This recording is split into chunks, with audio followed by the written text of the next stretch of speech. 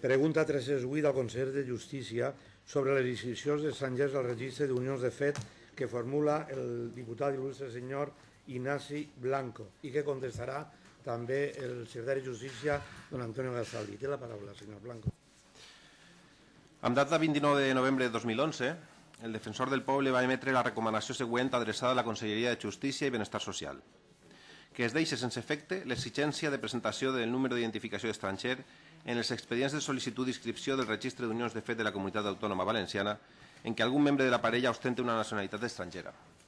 Cinc mesos després, sis ja, la Conselleria de Justícia i Benestar Social no ha atès la recomanació del defensor del poble i continua exigint un document addicional al passaport per acreditar la identitat dels estrangers que volen inscriure's en el registre d'unions de fet, amb la qual cosa s'impedeix l'exercici d'un dret a les persones que no disposen ni poden disposar del NIE per no tenir permís de residència.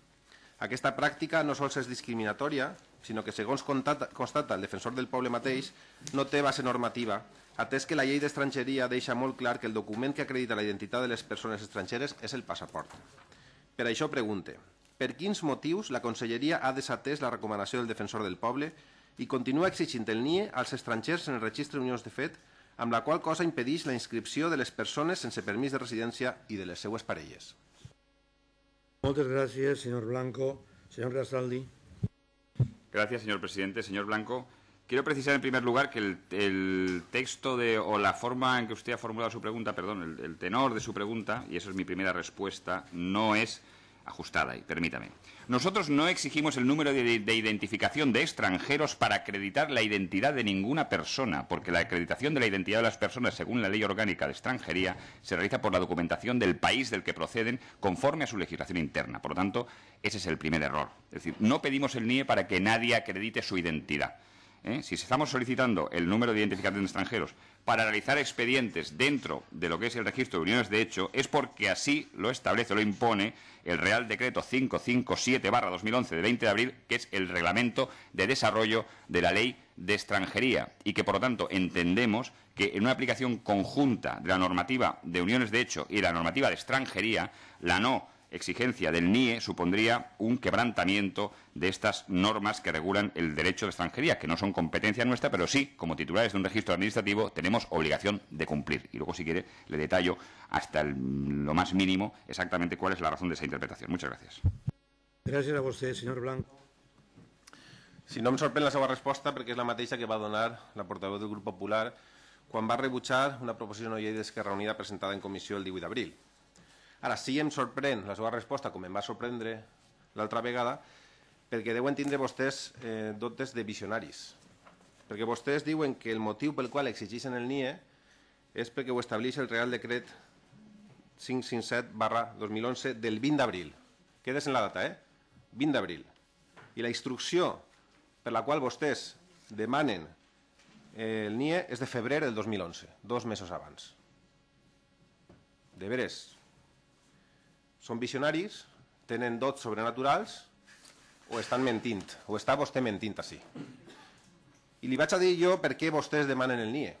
Perquè abans d'aquesta instrucció de febrer del 2011, vostès no sols no demanaven el NIE per a la inscripció dels estrangers en el registre de parelles de fet, sinó que fins i tot en la pàgina web on se formulaven els requisits, se dia, ui, no el NIE, sinó el passaport. Vostès advertien en aquesta pàgina web del registre que no portaren el NIE, que portaren el passaport, que és el que acredita la identitat. Ara, jo tinc així, impresa la web, és tot el contrari. Ara queda molt clar que se demana el NIE. I per què? Perquè va haver una sentència del Tribunal Suprem en relació amb una altra del Tribunal Constitucional que va reconèixer el dret de les persones estrangeres que estan inscrites en el registre d'unions de fet amb ciutadans o ciutadanes comunitaris a la seva legalització, a la seva residència legal. I això és el que vostès volen evitar. I per això vostès, en febrer del 2011, dos mesos abans de la promulgació d'aquest decret que vostès utilitzen com a excusa legalista, van demanar el NIE. Per altra banda, aquesta exigència i aquests arguments legalistes eh, no els comparteix el defensor del poble. L'alt comissionat de les Corts Generals per a la defensa dels drets constitucionals fonamentals del títol primer de la Constitució. I vostès ho saben de sobre perquè no sols va fer aquesta recomanació, sinó que després de la seva resposta li ha adreçat a l'advocat que havia presentat la queixa esta resposta dient-li quines són les raons que la Generalitat dona per a no atendre la recomanació y afirmant al final. No obstante, habida cuenta la diferencia de criterio entre la Consellería de Justicia y Bienestar Social de la Generalitat Valenciana y el Defensor del Pueblo, de conformidad con lo previsto en el artículo 30 de la Ley Orgánica 381, esta institución estudiará la posibilidad de incluir en su informe anual el asunto de referència. És a dir, d'incloure com un dels punts negres del respecte als drets constitucionals fonamentals en l'estat espanyol l'actuació xenòfoba del Consell del Partit Popular al exigir un requisit addicional al passaport per acreditar la identitat o almenys per a poder inscriure's en el registre d'unions de fet amb l'únic objectiu d'impedir la legalització de les persones que tenen un dret reconegut per sentència judicial i també del Tribunal Constitucional. No li sembla greu que el defensor del poble incloga el Consell en el seu informe anual? No li preocupa? A nosaltres sí. Ens preocupa molt d'aquesta pràctica que ja dic, entenem que és una mostra de política xenòfoba. Perquè nosaltres pensem que els drets han de ser universals, que cap ésser humà és il·legal, però malauradament les lleis les continuen fent. En aquest cas, aquells que pensen que els drets són privilegis d'alguns, tan sols una part de la població en funció, en aquest cas, del lloc on han nascut o de la situació administrativa en la que es troben. Fent i aplicant. I vostès tenen l'oportunitat de començar a aplicar la llei de manera justa, perquè és possible, perquè així ho diu el defensor del poble, atendre aquesta recomanació i acabar amb un problema que està impedint a moltes persones fer ús dels seus drets tant a la inscripció com a la legalització de la seva situació en Espanya. Moltes gràcies, senyor Blanco. Senyor Gastal. Muchas gracias, señor Blanco, señor presidente. Bien, usted hace aquí acusaciones que son un poco graves. En primer lugar, nos dice que somos unos visionarios. Nos imputa además a la Generalitat una especie de mm, capacidad de hacer política de extranjería en materia que no es competencia mm, sino del Gobierno central, del Gobierno de España. Nosotros no hacemos política de extranjería en el sentido de que queremos más o menos extranjeros, eso no es una cosa que nos compete, estamos en serie de servicios todo el mundo que se encuentra aquí a los que tenga derecho. Usted además mm, dice que la fundamentación, que también ahora le diré está en la ley y no solamente en el reglamento, es, como dice usted, con un cierto tono de desprecio, una excusa legalista. Una excusa legalista, vamos a ver, estamos en un Estado de Derecho y aquí las cosas se hacen cuando se tiene derecho a hacerlas, no cuando uno, su formación o sus ideas filosóficas le consideran oportuno otorgar. Esa es la diferencia entre un Estado de Derecho y otro tipo de Estados. Aquí se cumple la ley.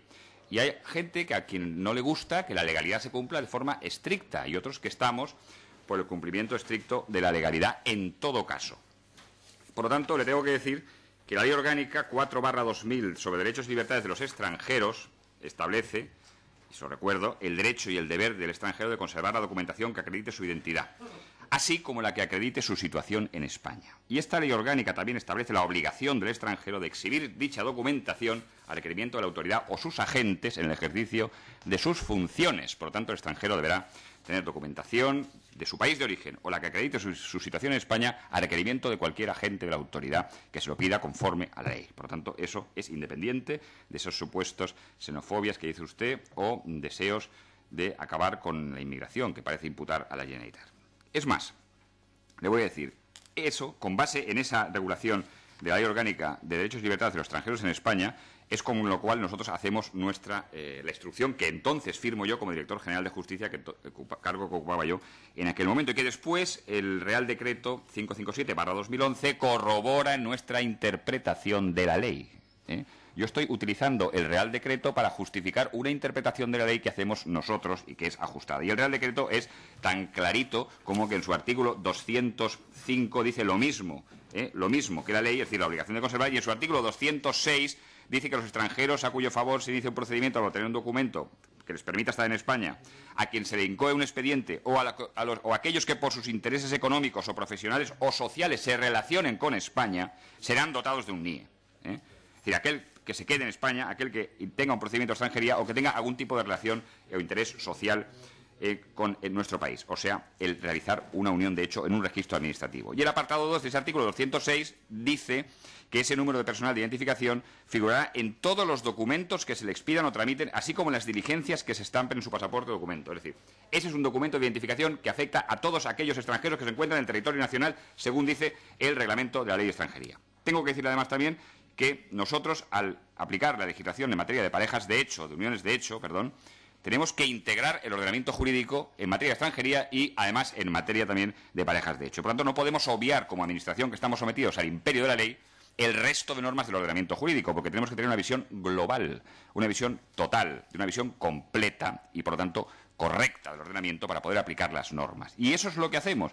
Y el alto comisionado de las Cortes Generales para la defensa de los derechos fundamentales, como ha dicho usted, es decir, el defensor del pueblo, nos hace una recomendación que nosotros eh, hemos recibido, pero de la que discrepamos en cuanto a la interpretación jurídica que da fundamento a esa recomendación. Y también le tengo que decir aquí, si cualquier extranjero acude a un tribunal del orden contencioso administrativo, que es el competente para reclamar este tipo de fin, o para reclamar porque se le pida el NIE o no se le pida, serán los tribunales, que son los que interpretan y aplican la ley, artículo 3 del Código Civil, eh, y que forman la jurisprudencia, con carácter exclusivo, eh, los tribunales, los que decidirán si es correcto o no. Y nosotros haremos lo que nos digan. Es decir, si esta interpretación que ha hecho la Generalitat es errónea, oiga, la cambiamos, no hay ningún problema, pero lo dirán los tribunales. ¿Eh? Nosotros entendemos que la política coherente es esta. Muchas gracias. Muchas gracias.